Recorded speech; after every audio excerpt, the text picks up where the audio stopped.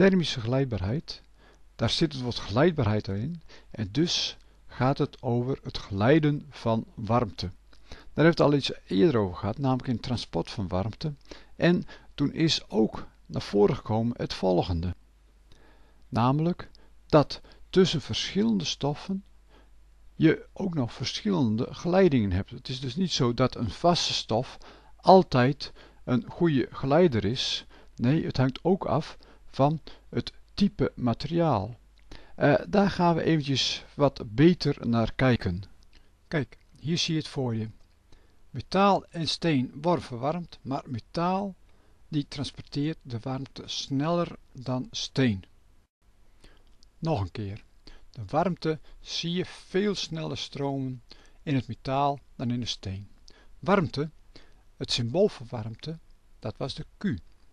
En de warmte gaat dus in kortere tijd door het metaal heen.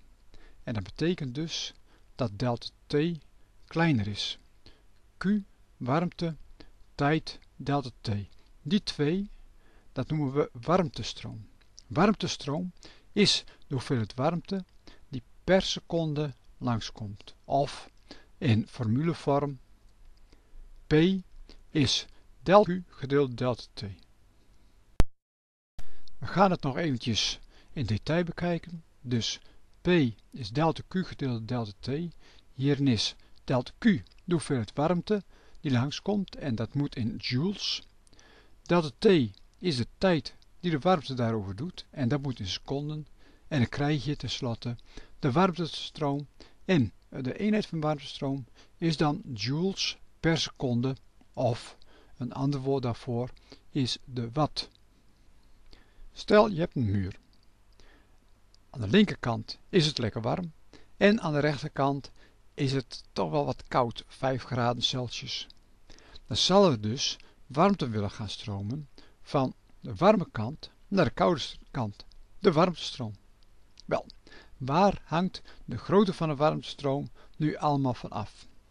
Als je goed nadenkt, dan denk je eerst natuurlijk van hé, hey, als ik nu een dikkere muur bouw, dan heb ik natuurlijk een betere isolatie.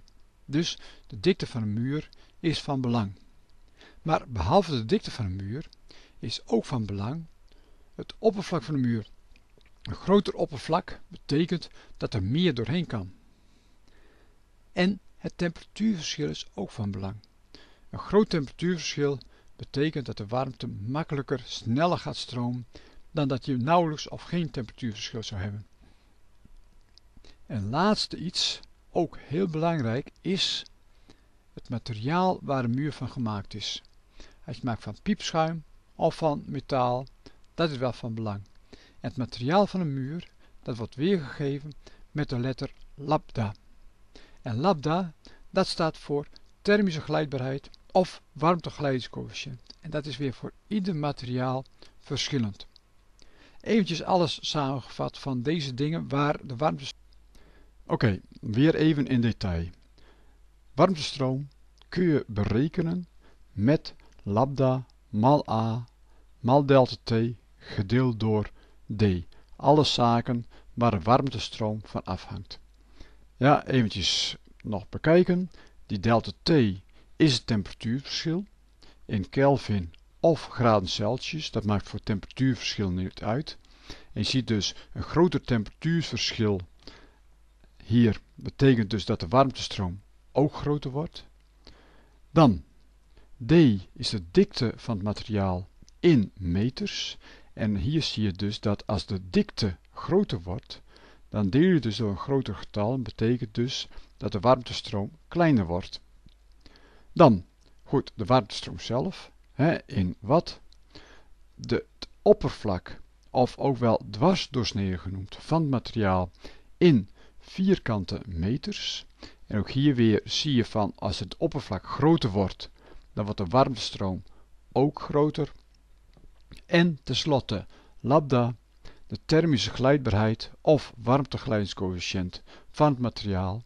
En de eenheid hiervan is zo gekozen dat de eenheid in deze formule links, wat, en eenheid van alles hier samen rechts ook gelijk is aan wat.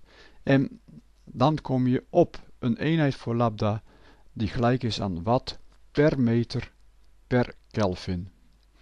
Hiernaast zie je een aantal uh, staan van een aantal stoffen. Uh, alles is natuurlijk weer terug te vinden in BINAS, BINAS tabel 8 tot met 12. En je ziet hier, koper heeft een hele grote geleidingscoëfficiënt. Betekent dus dat hij heel makkelijk warmte geleidt. En dat betekent dus juist dat hij ontzettend slecht isoleert. Terwijl glas, ja, die heeft een hele lage warmtegeleidingscoëfficiënt. Betekent dus dat hij heel slecht geleidt. Oftewel, het is een goede isolator.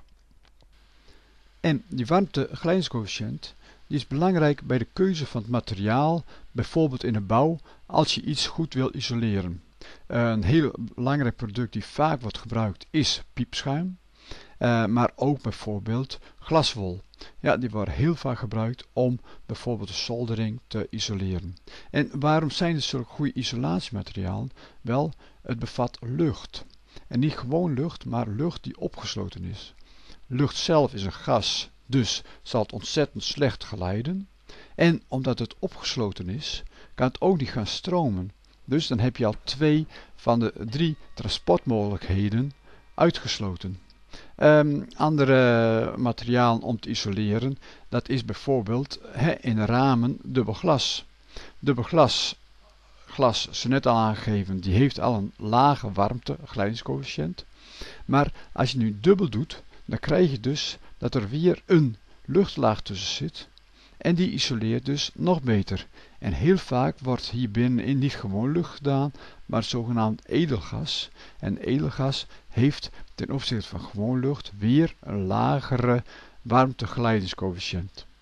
Buiten dat heeft men tegenwoordig met het dubbel glas een coating op het glas zelf, waar je gewoon doorheen kunt kijken. Maar die coating zorgt er wel voor dat de kou zwinters niet binnen kan komen en dat zomers de warmte ook niet binnen kan komen, zodat je dus binnen niet een overmatige warme ruimte hebt.